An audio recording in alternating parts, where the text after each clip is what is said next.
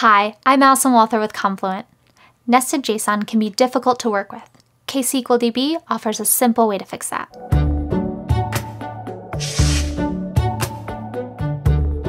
KSQLDB makes it easy to transform the schema of an event stream. For example, if we have events with a nested record structure and we want to flatten them. Using the as operator, we can convert the nested fields into top-level fields and leave the nested field out of the select for our new stream. The new stream contains all of the events of the original, but with our new schema. It's important to note that the original stream has not changed, so downstream applications that are expecting the nested data structure are not affected. That's it for this lesson. Let's move on to an exercise.